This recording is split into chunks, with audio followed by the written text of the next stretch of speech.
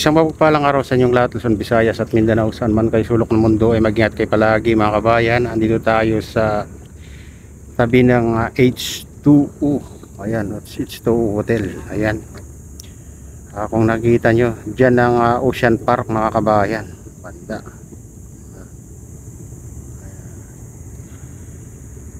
Ah, dito mga kabayan, mayroon tayong natatanaw na ah, nagdi nagtatambak. Ayan yung malaking ah, barko. Tapat ng ano yan mga kabayan ah, Manila Baywalk Dolomite Beach ah, dito sa kalagitnaan. Pero mas malapit dito yung ah, Ocean Park mga kabayan. At ah, tinatambakan na pala dito. Ah, medyo matagal-tagal na rin tayo kasi na hindi nagawi dito mga kabayan. Ayun natsepuan natin itong barko na nagtatambak dito. Mhm. Ah malamang sa mga susunod na araw ay magkakaroon na ng island dyan.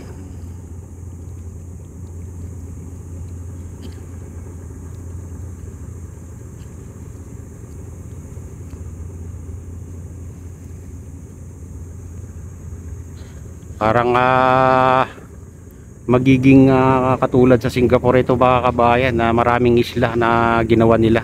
Mm.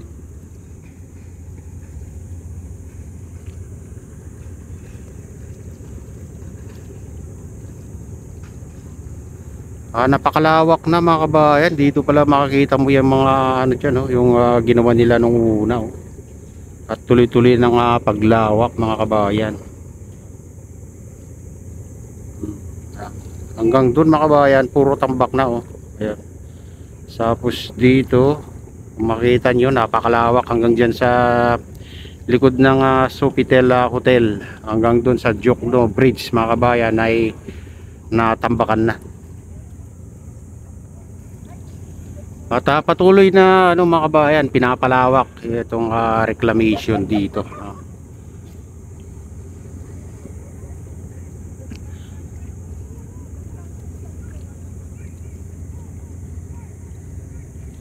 At sa mga ano mga kabayan, mga susunod na araw siguro makita natin may island na dito. Diyan sa binubuhusan itong malaking barko.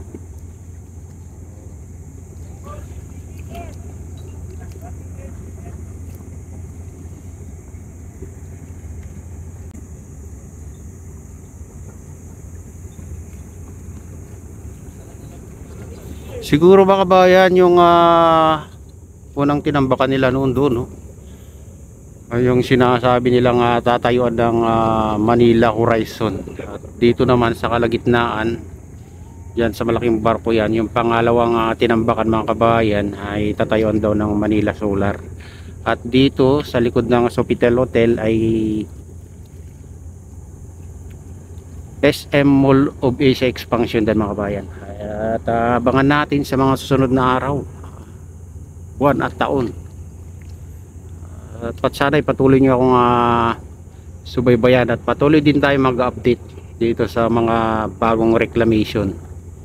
Dito sa Manila Bay at saka doon sa Pasay uh, Manila Bay Reclamation Project. At dyan daw sa ano mga kabayan um, sa Manila Bay at Club yata yon hmm. sa diyan sa CCP ay, ay mayroon din tatambakan dyan mga kabayan. Parang gagawa sila ng island din.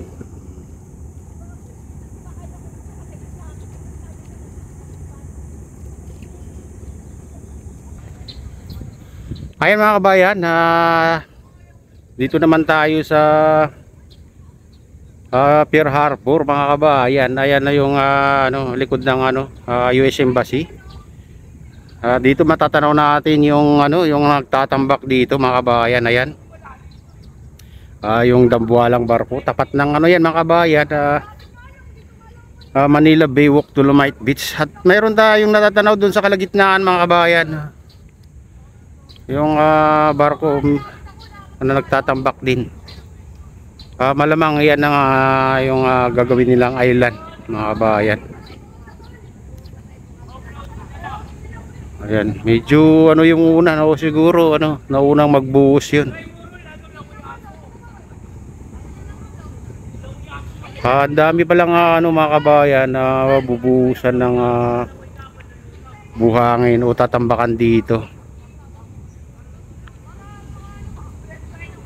Siguro ito na yung ah, sinasabi nilang ah, gagawin na island dito sa Manila Baywalk Dolomites. Ah, o tapat ng Manila Baywalk Dolomite Beach. Hmm.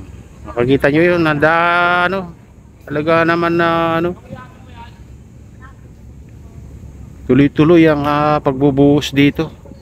Tapat lang ng ano yan mga kabayan, Manila Baywalk Dolomite Beach yan. Yan, yan ang ah, ano,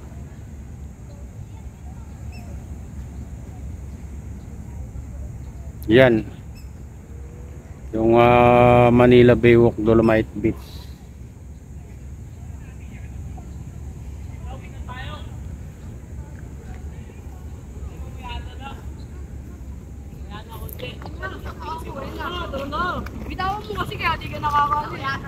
Hi guys!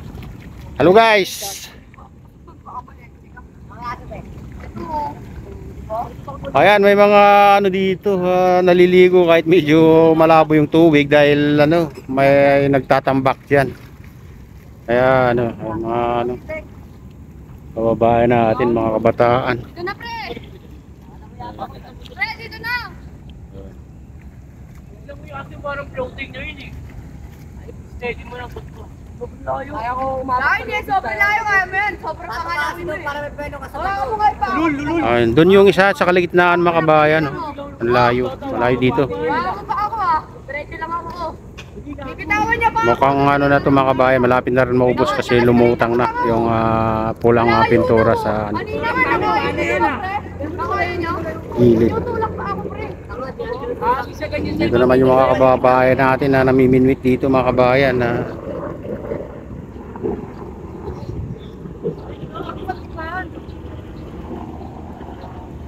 Ayan mga kabayan, ito na yung latest update dito sa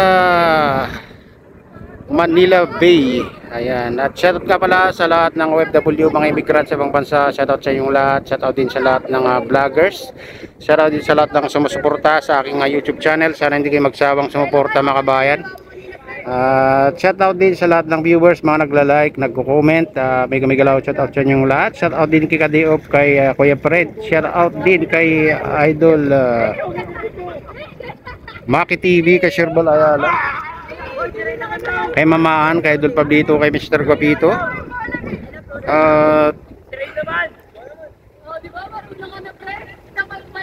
kay Idol Rodel dyan sa Divisoria at kay.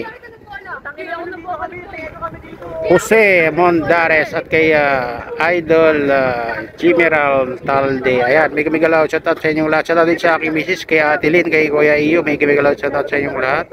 Kay Kuya Rick. Ayan. Sa aking utol na si Nestor Botak. Ayan, may kumigalaw. Shout out sa inyong lahat. At uh, pagpalain na ng Diyos. Ingat kayo palagi. God bless us all.